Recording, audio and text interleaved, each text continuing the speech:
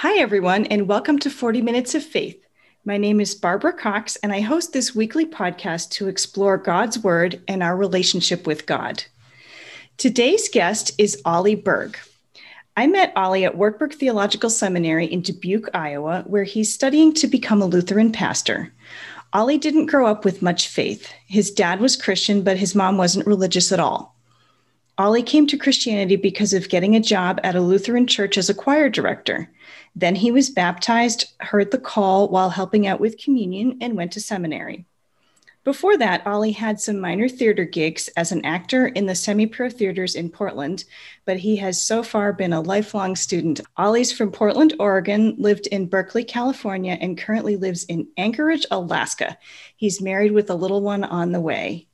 Ollie's dreams are to hopefully be a beloved parish pastor and to write some kind of theology book one day. He's really into church liturgy, is a fan of the Roman Rite, and is interested in interfaith stuff with Zen Buddhism as well as Judaism. Welcome, Ollie. How are things in Alaska? It's really rainy here, and that's actually kind of weird. Is it yeah. not often really rainy? No, it's usually pretty dry, and then it's either dry or snowy. Last year, fall was two weeks long. This year, we're actually getting kind of a fall. So that's kind of nice. Excellent. Yeah. Well, I, I hope the rain will do some good and, and not end up causing harm. it seems like it's either a drought or a flood, and we just want things kind of right in the middle. Oh, yeah. Right. But we're going to be taking a look today at some interesting things having to do with health and what we eat and drink and what the Bible has to say about it and what the Lutheran Church has to say about it and mm-hmm. our common sense and maybe kind of how it feels to be having some health issues from time to time. Mm-hmm. Today's Bible verse is from First Corinthians chapter 8. So for those of you who are going to look up First Corinthians, it's a book after the Gospels, so it's towards the end of your Bible. I'm going to read excerpts from a longer passage that talks about what kind of food we can eat. Here's 1 Corinthians chapter 8, verses 8 to 9 and verses 11 to 13 from the message. But fortunately, God doesn't grade us on our diet. We're neither commended when we clean our plate, nor reprimanded when we just can't stomach it. But God does care when you use your freedom carelessly in a way that leads a fellow believer, still vulnerable to those old associations, to be thrown off track. Christ gave up his life for that person. Wouldn't you at least be willing to give up going to dinner for him? Because, as you say, it doesn't really make any difference. But it does make a difference if you hurt your friend terribly, risking his eternal ruin. When you hurt your friend, you hurt Christ. A free meal here and there isn't worth it at the cost of even one of these weak ones. So never go to these idol tainted meals if there's any chance it will trip up one of your brothers or sisters. Ollie, there is so much important stuff in these verses. How do you okay. understand these instructions to us? For me, it's about what do we do with our gospel freedom? Yes. And especially coming from the United States, we talk about freedom all the time, you know, sure. but we talk about freedom as an end. Okay. And actually, freedom is a means. And so we have to think about what we do with it, right? We have to actually use our brains. Imagine that. Yeah. Let's do it. That's the really exciting thing about this passage is Paul is saying that we should use our freedom, our food freedom, yep. which for Jewish people was a was a big deal. Still is a big deal. Tons right? of Kosher. rules in Deuteronomy, Leviticus, and other places. Yep, in the Hebrew. Yeah, and Paul is saying we're free to eat whatever we want. This is something Jesus gave us. But don't do that. and by the way, here's some other things to keep in mind. Yeah. so that's the fun of it for me is I think for a lot of us when we read the Bible, we get to this point of, okay, we have this freedom. We have this yes. freedom. Mm-hmm. And that is the message. Mm-hmm. But then there's this next step. Right. You know, and so that's what we have to think about. Excellent. And we'll be taking a look at some examples together. Our faith denomination has a document called a social statement about caring for health. I'll include a detailed link to that on the podcast website, which is 40minutesoffaith.com. I'm not going to read the entire 28 page document right now, just some excerpts. Sure. So on page three, it says, because human beings are mortal, suffering and death are part of our lives. Perfect health eludes us. Although health depends in part on individual behavior, it's also to a significant degree beyond individual control. Many factors contribute to health or its absence genetics, physical and social environments, individual behaviors, and access to care. On page 35, it says imperfect health, which is as good a state of health as we ever have, does not mean we are forsaken by God. Mm-hmm. Mm-hmm. So, Ollie, it seems to me that part of American culture is a vision of perfection, even if mm-hmm. it's artificial or untrue. How did you feel when you received a recent diagnosis of diabetes? You know, I quite literally felt like I had sinned against God. Okay. I felt awful. I remember when I was little, elementary school, we, I had a I had a teacher who her son was diabetic Mm-hmm.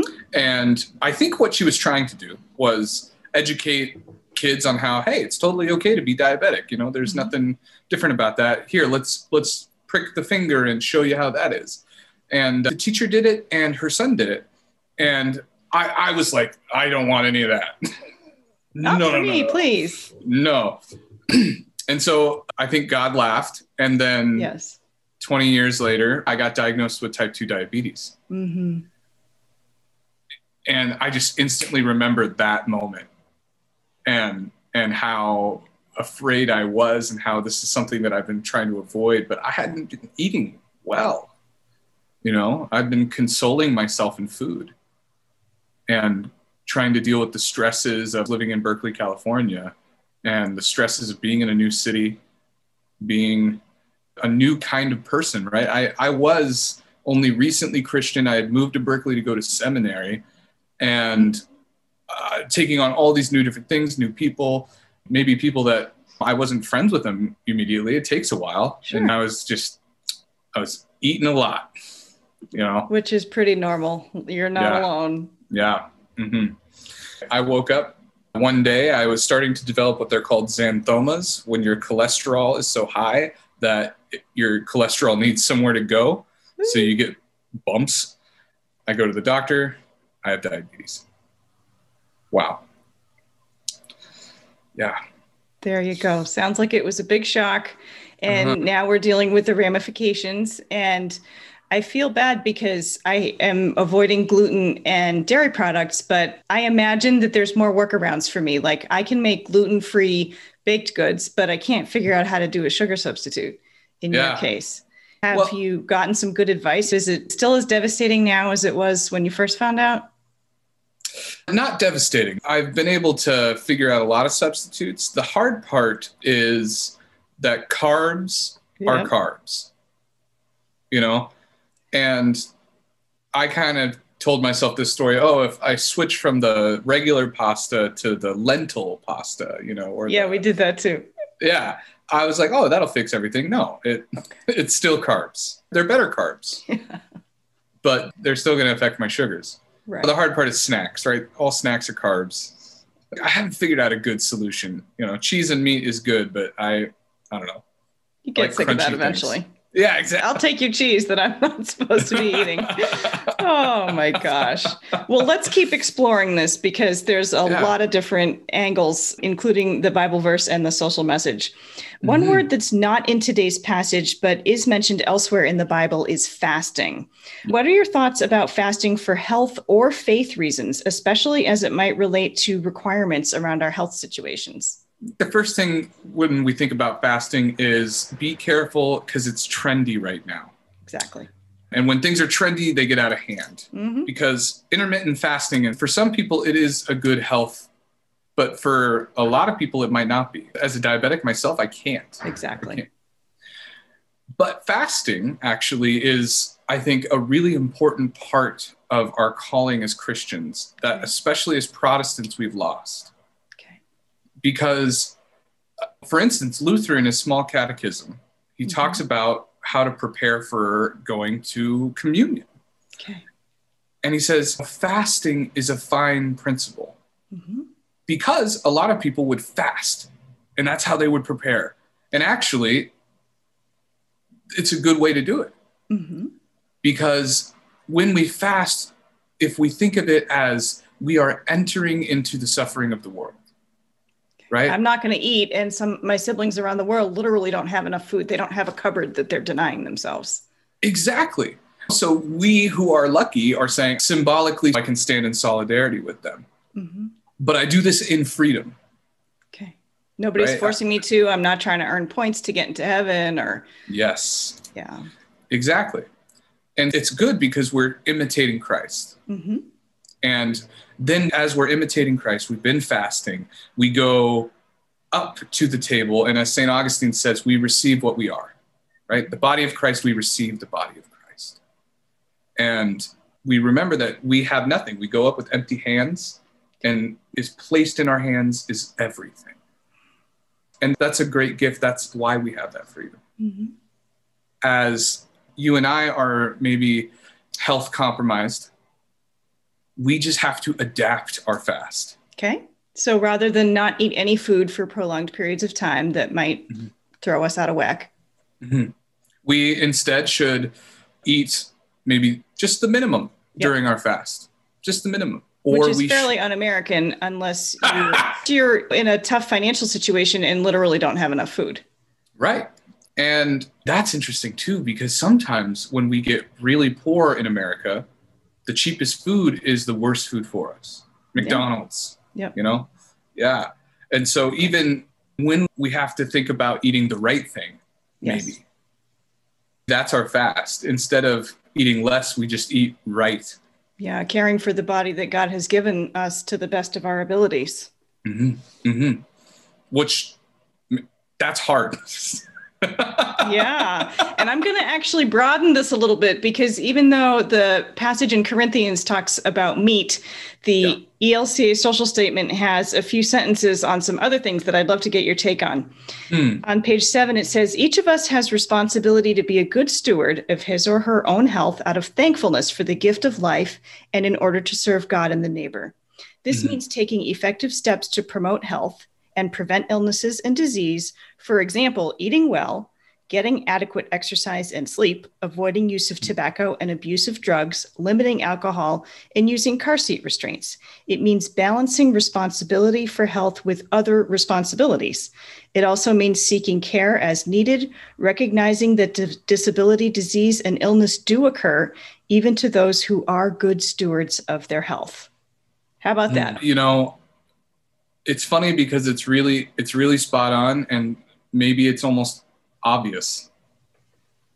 Right? Yeah but do we do it? Yeah right. it's funny how we are trying our best to do something. Mm-hmm. we're trying to exercise we're trying to eat right and then all of a sudden for me it's always actually about wednesday or thursday i realized how did i get out of control? Yesterday it's like i six different pasta dishes. How did why? and I looked at my blood sugars and I go, I know this is bad. What am I what's going on? so it's a conscious thing. And also it's a commandment.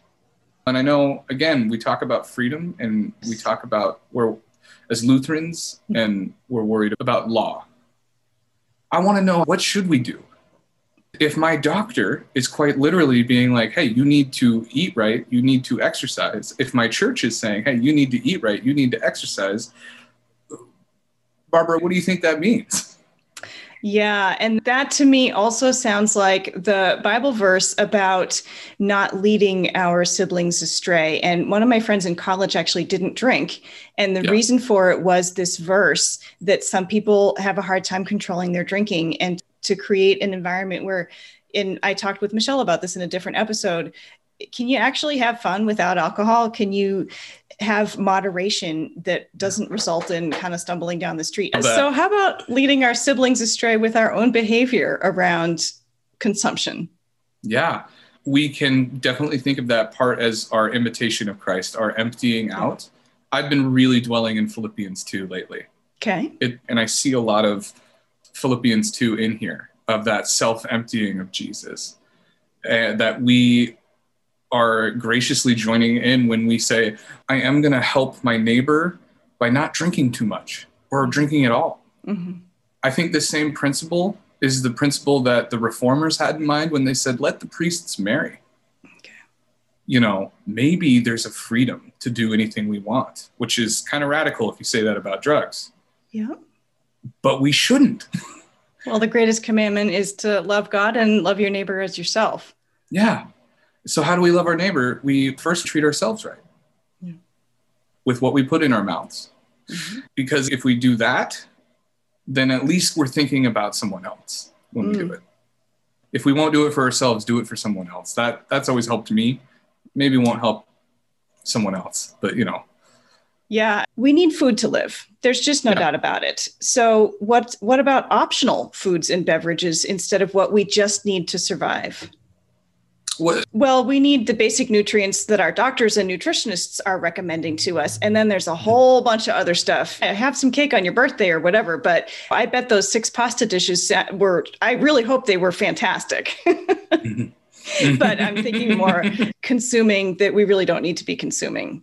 And mm-hmm. it seems to me like you go to a restaurant and you get a portion that's the size of a frying pan, you know? Yeah, that's a good question. Orthodox monks are really good at keeping the fast because it's sort of like their full time occupation in a way. And they always, right before the end of the year, will eat like a little piece of cheese, which is prohibited from the fast, so that no one can say that they kept the fast. Right? So it's not works righteousness, it's not proving how good I am. Exactly. So, birthday cake. You should eat birthday cake, especially if it's your birthday or if it's sure. your friend's birthday. Sure. Yeah. You know, deny yourself a little bit, maybe Yeah. especially if I got the big piece of cake, right? I'm not going to deny it. I probably should, at the next birthday I attend, God willing, that we can ever go to birthdays again. Right. You know, that I'll eat the small piece of cake. But food is not just nutrients. There's something dehumanizing about thinking of food as nutrients. Mm. You know, there's no joy in that. Yeah. Because I'm sure Jesus didn't eat just because you got to eat. We know Jesus went to weddings. Yeah. there was probably some feasting there. Yeah.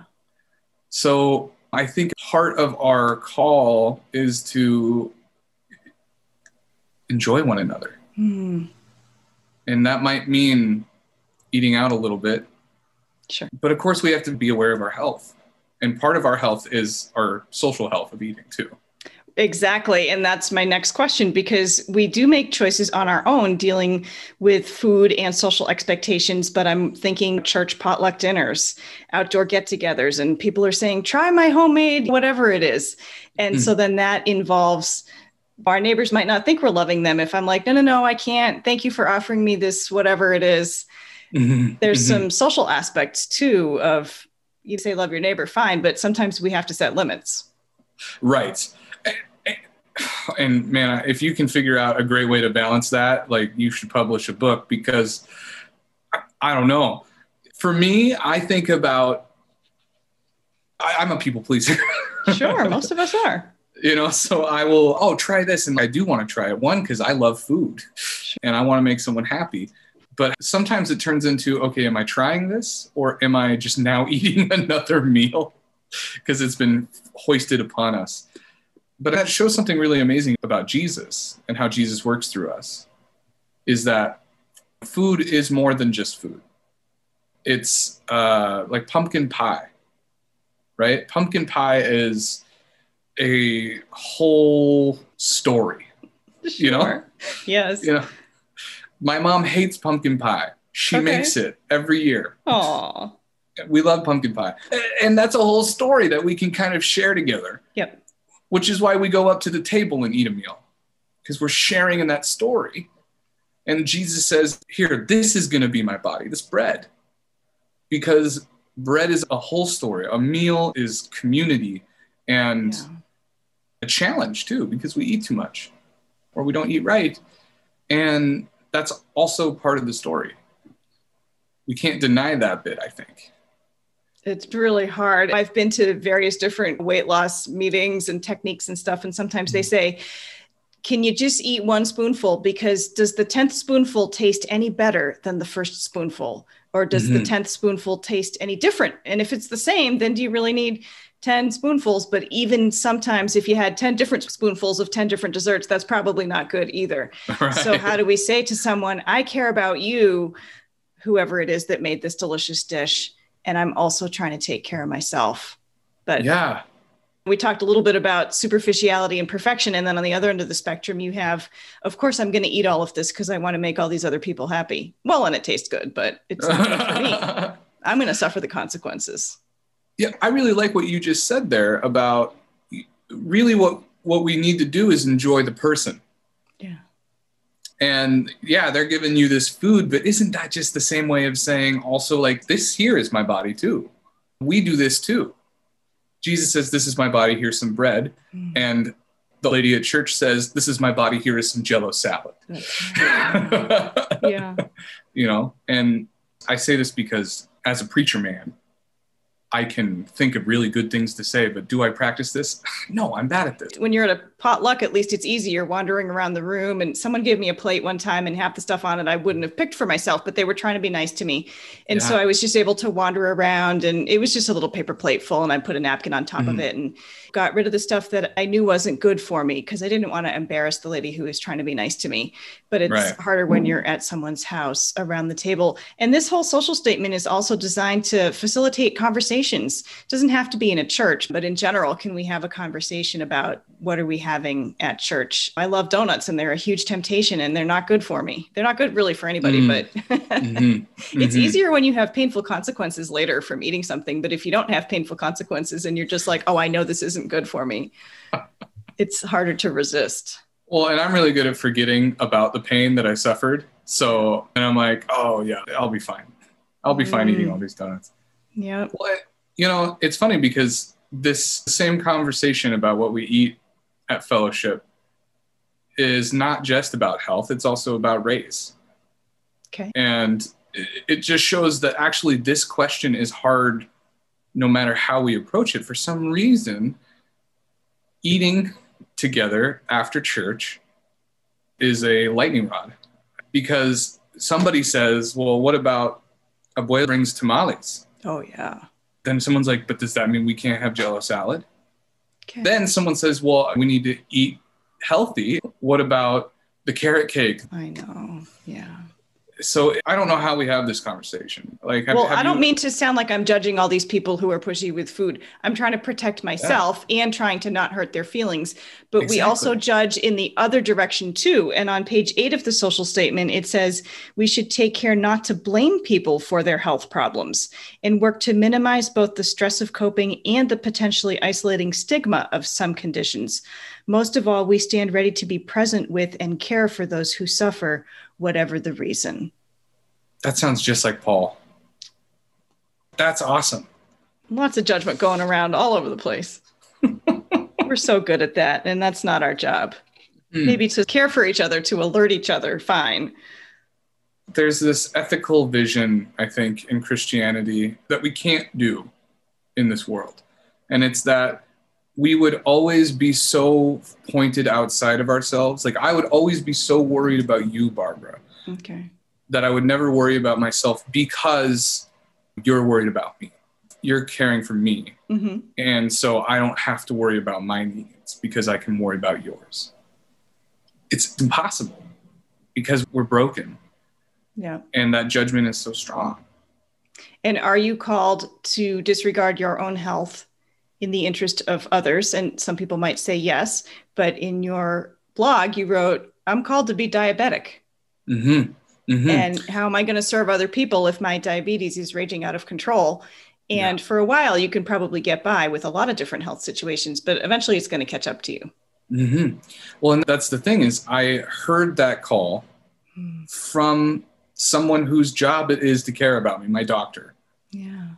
And I, I think I said in that blog, that that means that it is a commandment coming from the voice of God.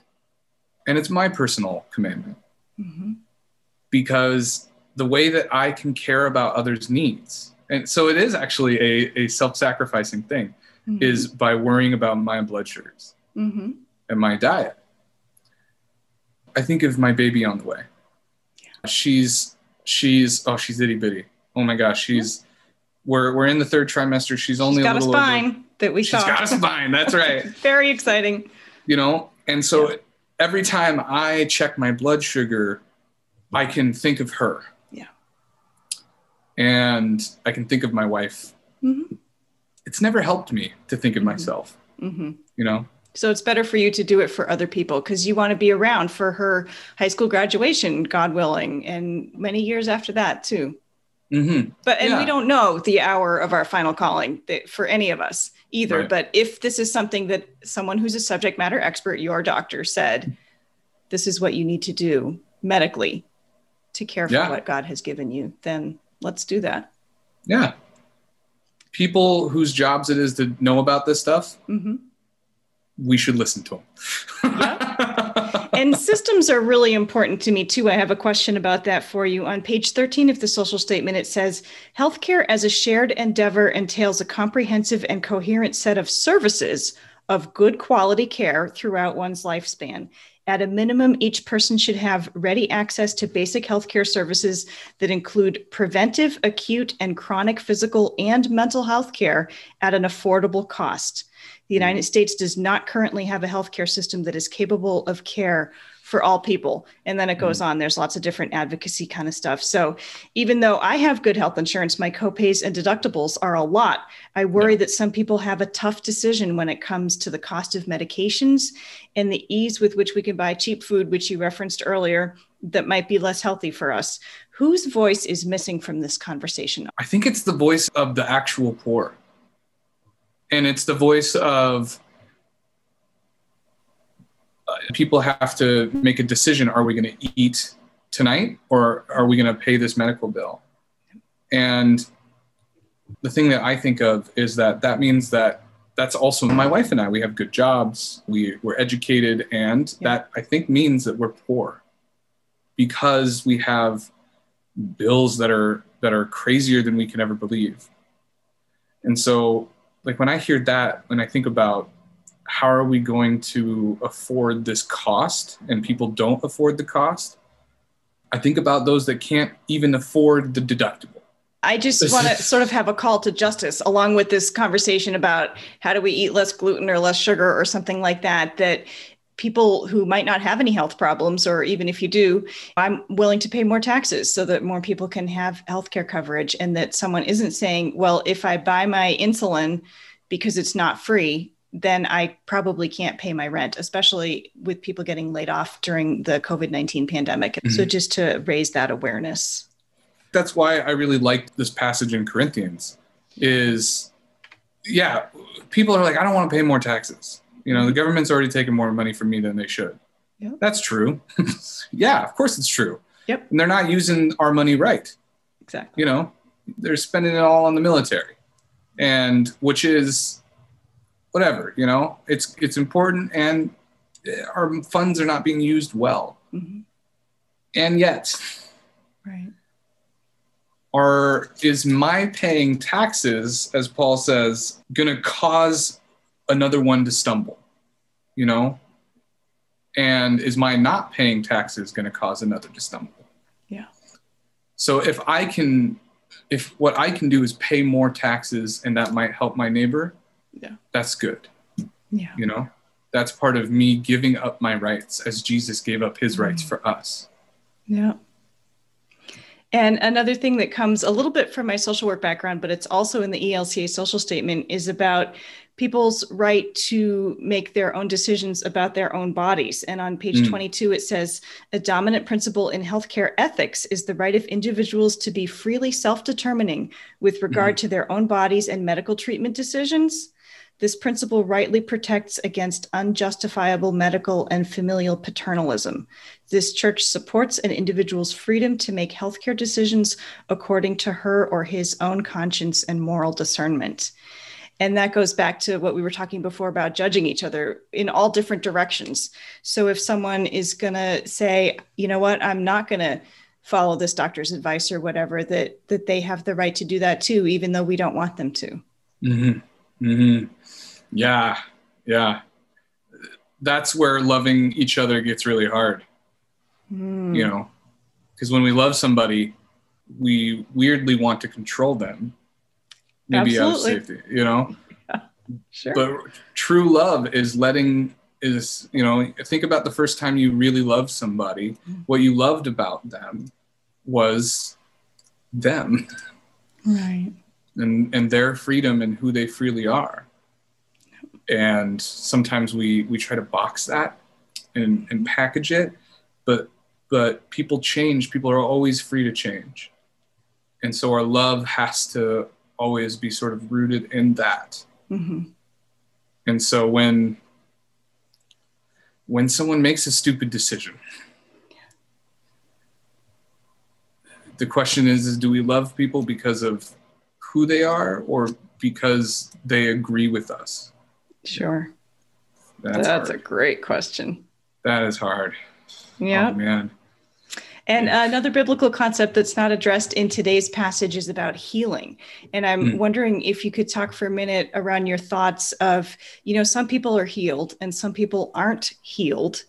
And it's not a judgment either. That's not how I see it that, you know, if I'm good enough, God will heal me. Or if I pray hard enough, God will heal me. Yes, God answers prayers and in different ways mm-hmm. for everyone. So when you talked in your blog post, you know, shout out, we'll put that on the on the website too so people can check it out. You're living God's calling of how you were made with or without diabetes.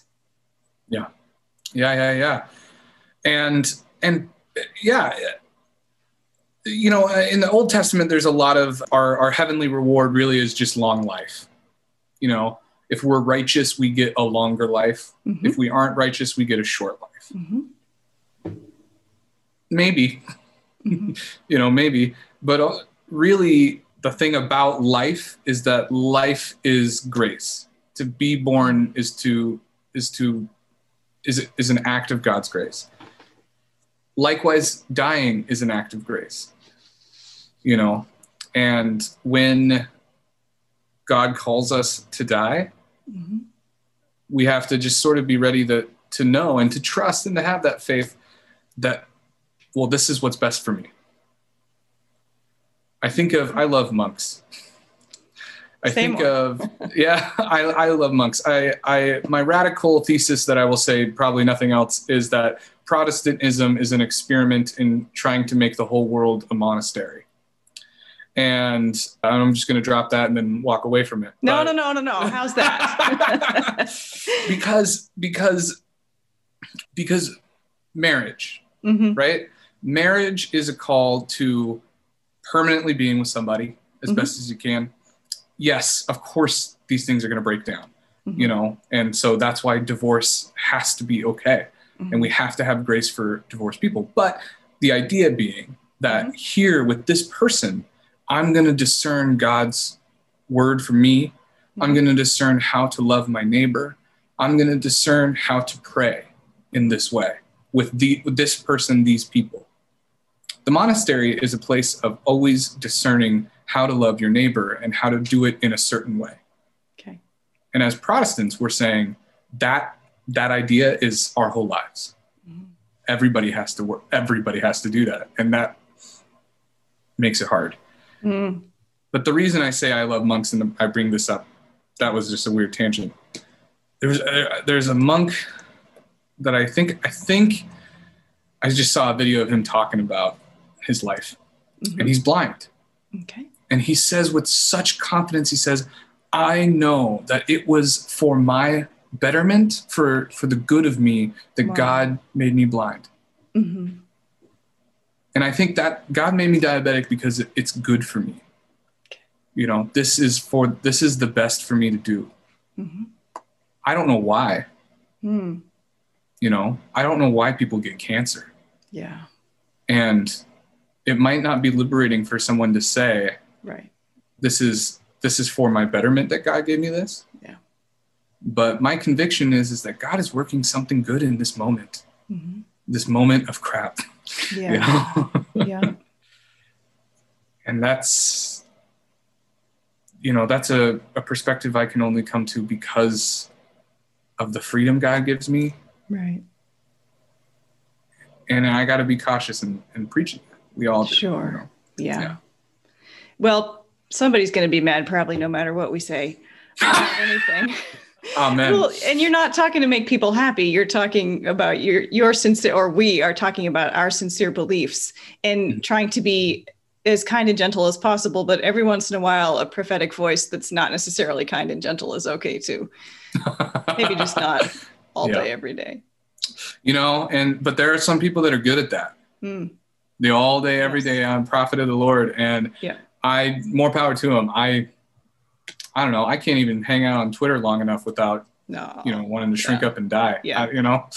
Yeah, yeah. So we're not saying you have this horrible situation because God hates you or God wants to punish you or you did something bad to deserve it or anything like that. There's a, a, mystery to some extent. And we know that there's sin in the world also. And so if you're drinking water that's not potable and your yeah. body, you know, is suffering because somebody else polluted the water, that's sin. Mm-hmm. And we'll keep praying on this. But right now we have what we have and we're prayerfully working through it to understand it as best we can and then to deal with it as best as we can. And I do have an interesting definition mm-hmm. for you, mm-hmm. Ollie, for your thoughts on page 33. This is the last one for today.